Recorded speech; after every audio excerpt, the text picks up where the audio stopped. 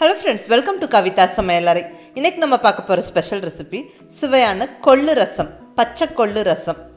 இது ஒரு பாரம்பரியமான ரசம் ரெசிபி இங்கே கொங்கு நாட்டு ஸ்டைல் டிஷ்ஷஸில் இந்த கொள்ளு ரசம் ரொம்ப ஒரு ஃபெமிலியரான டிஷ்ஷுங்க எங்கள் பாட்டி அம்மா எல்லாம் செய்வாங்க.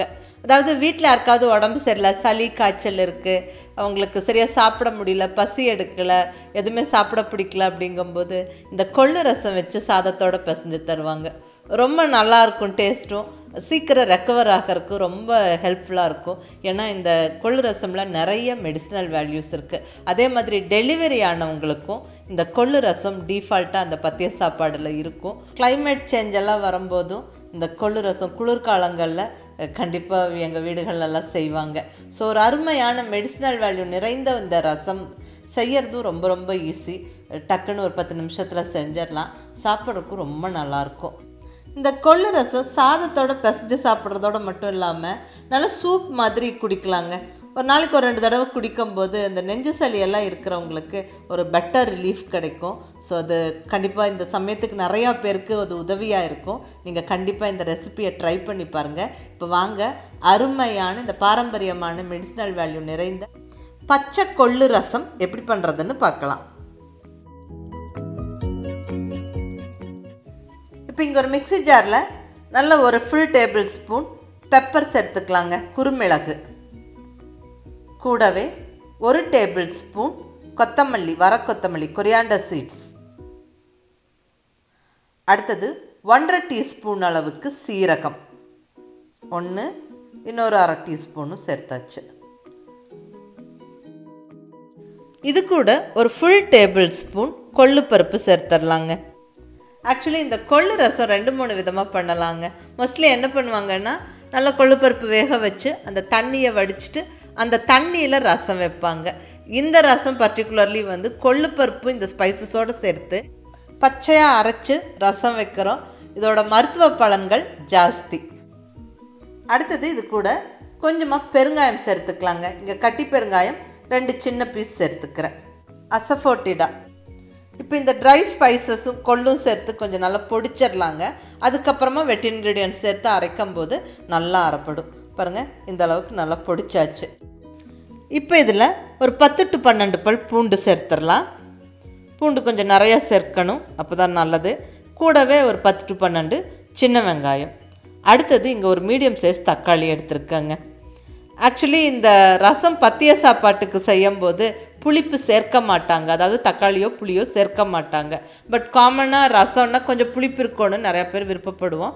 ஸோ அதுக்கு வேண்டி ஒரே ஒரு தக்காளி சின்ன சைஸ் தக்காளி ஒன்று கூடவே கொஞ்சமாக ஒரு சின்ன சைஸ் புளிப்பு சேர்த்தா போதும். அதிக புளிப்பு சேர்க்க வேண்டாம். இது புளிப்பு சேர்க்காமல் செஞ்சாலும் இந்த ரசம் வந்து ரொம்ப நல்லாயிருக்கும் இப்போ இதை நல்லா அரைச்சிடலாங்க.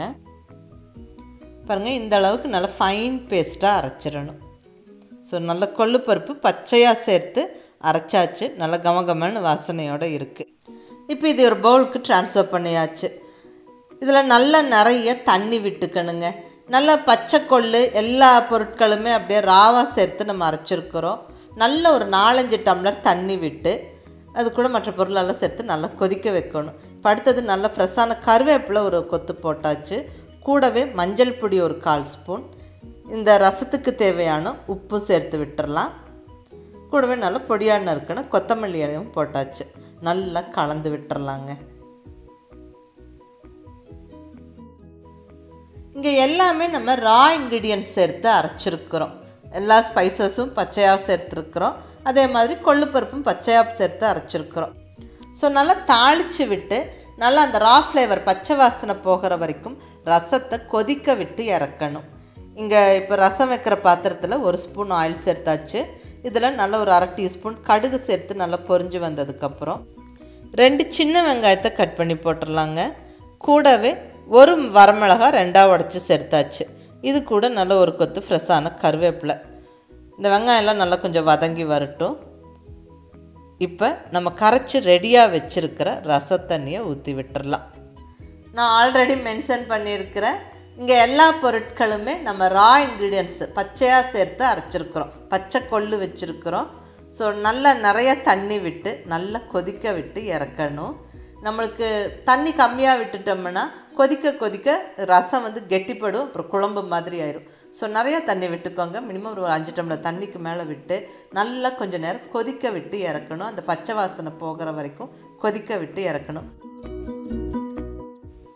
நம்ம மற்ற ரசம் எல்லாம் வைக்கும்போது அந்த கொதிக்க ஸ்டார்ட் ஆகி நுரைச்சி வரும்போது ஸ்டவ் ஆஃப் பண்ணிடுவோம் பட் இந்த ரசம் அப்படி இல்லைங்க.